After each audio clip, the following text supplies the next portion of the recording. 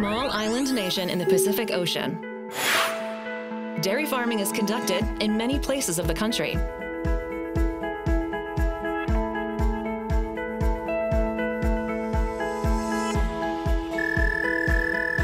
Although Japan has small land area and certainly raises fewer cows than other countries around the world, Japan's milk yield per cow boasts of being world class thanks to advanced dairy farming technology.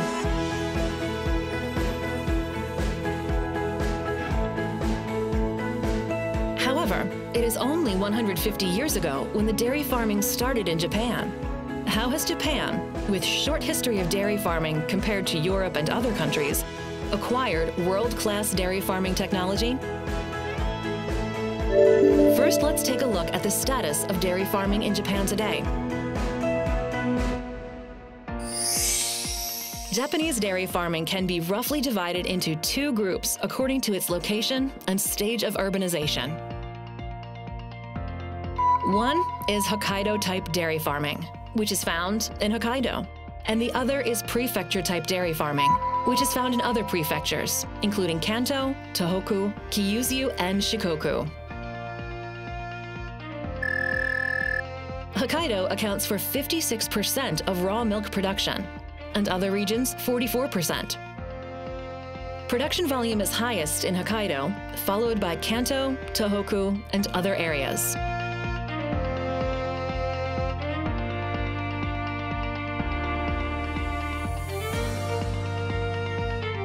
In terms of purpose of consumption, a greater proportion of raw milk produced in Hokkaido is used for various types of processed dairy products, and a high proportion of raw milk produced in other prefectures is consumed as drinking milk.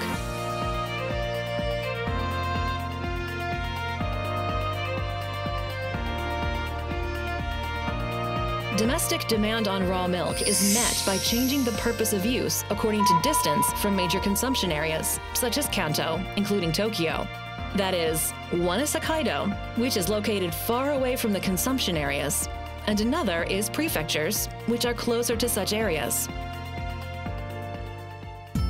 Now let's look at the status of dairy farming of two different types, namely prefectures and Hokkaido.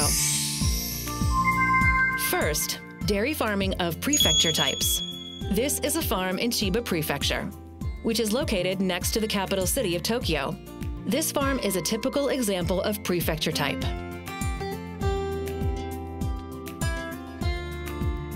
Approximately 100 cows are raised here in tie stall barns.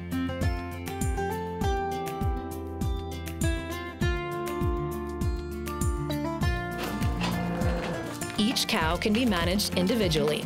And because they are well cared, their health conditions can be closely monitored. The restriction of cow movement, however, is a major problem, as causing a lot of stress on the cows.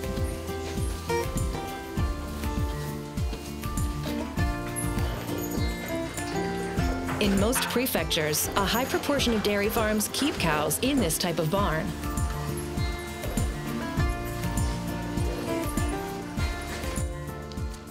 It's milking time. Although dairy farmers usually milk twice a day, morning and evening, 30 to 50 cows are milked in about two hours with one person operating two or three milking machines.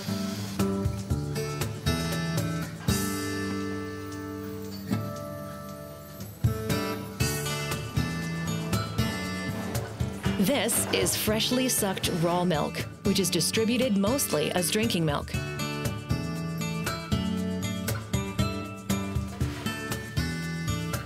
This raw milk goes through pipelines in the barn and is temporarily stored in this tank.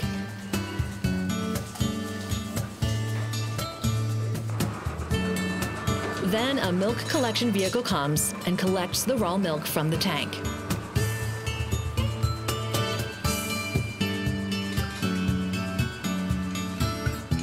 Many tests are also conducted in this process.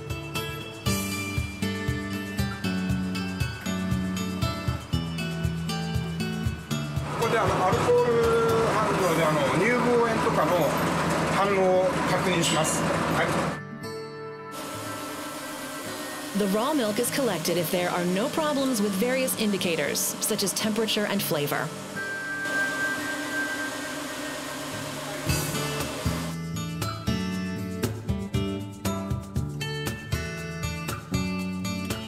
Raw milk collected from many farms like this is sold to dairy processors through agricultural cooperatives and distributors. The processors sell it to schools, retail stores, and restaurants before it reaches the consumers.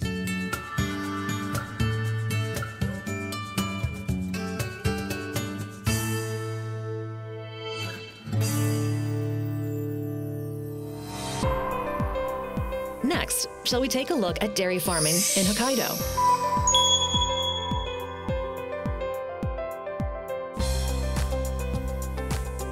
What takes place in the Tokachi Plain, which occupies an extensive area in the east side of Hokkaido, is a typical dairy farming of the Hokkaido type.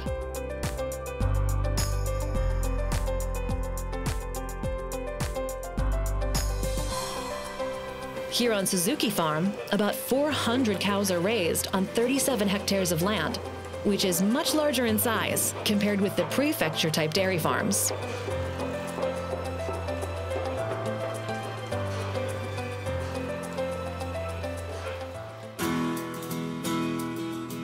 In the past, in Tokachi, it was a common dairy farming practice to take advantage of the extensive lands and raise cows by releasing them in grasslands, known as grazing. This practice, however, is said to have changed in the 2000s. 放牧は土地の数牛1頭につきどれぐらいの単別っていうのがあるのでほとんどやっぱり今多頭飼いが多いのでそういうふうなあの経営感の感じは少ないと思います。Grazing has declined because milk yield per cow needs to be taken into account for improving the efficiency.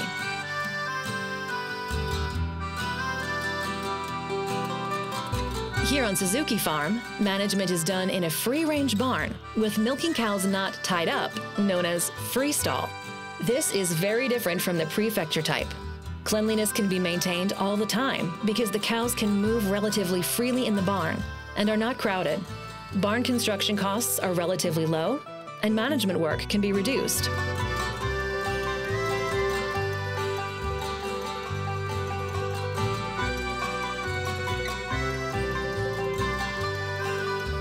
For cows kept in free stalls, a dedicated milking facility called a milking parlor is adopted by many dairy farms in Hokkaido.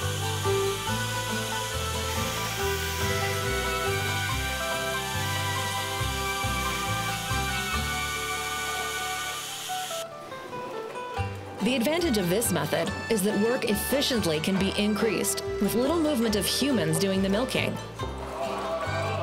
Because the cows come to the milking parlor to have milk sucked themselves when it is time for milking.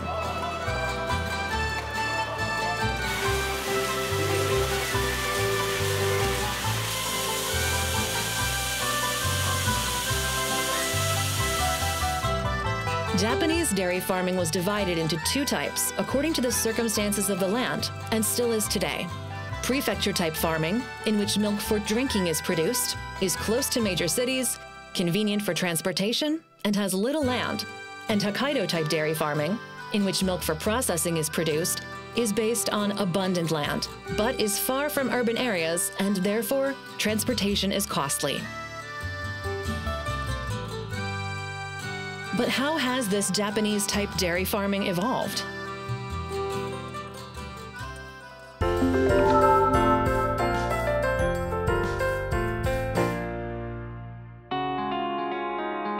Now let's take a look at the history of Japanese dairy farming. The history of Japanese dairy farming began when dairy cows were introduced for the first time on the Mineoka farm in Chiba Prefecture in 1727.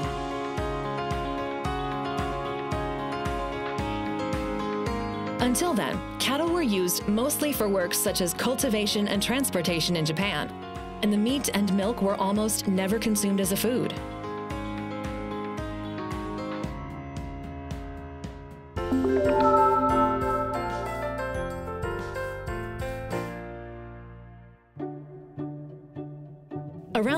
Time, when cow's milk first began to be sold in Japan in the latter half of the 1800s, only very few people were able to drink it due to its high prices.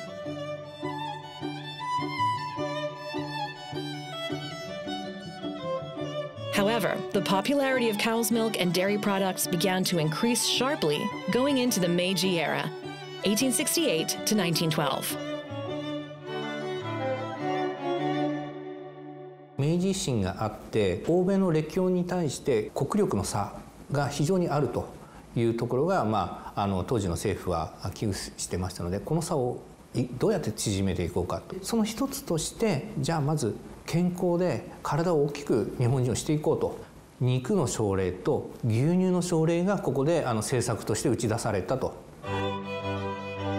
Under the policy of the Japanese government, consumption of cow's milk increased rapidly. And further efforts were made with the government and dairy farmers cooperating to increase production per cow.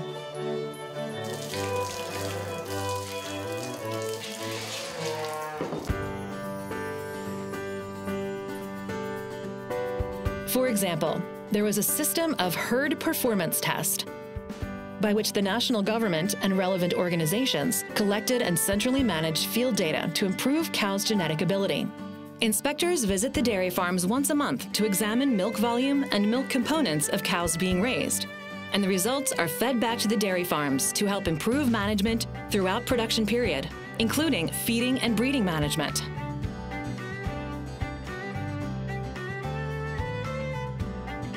There were also body type examinations, which examined relationships between body type and lactation ability to evaluate the functionality of each body part for milk production.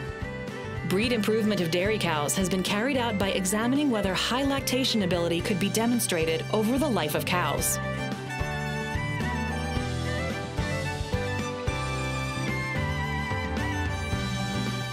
The safety and security of consumers as well as producers have been protected by many organizations concerned. Great care is taken so that milk is hygienically controlled and kept fresh at every step, from transportation, management, and sales until it reaches the consumers.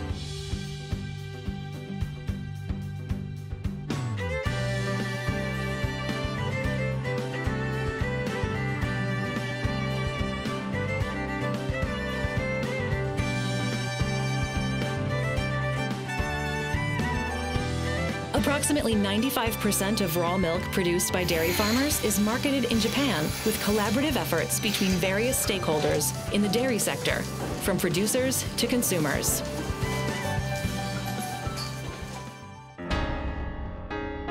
Experience from the producers to the consumers has been constructed over a period of 150 years. This is what has made safe Japanese dairy products a reality.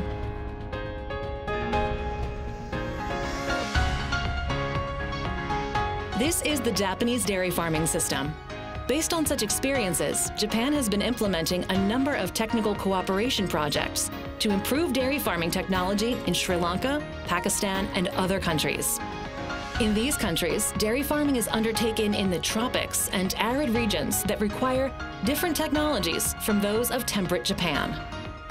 However, the technology involved in raw milk hygiene management is a particular specialty of Japanese dairy farming and is being transferred abroad to conduct cooperative activities aimed at allowing safe milk production.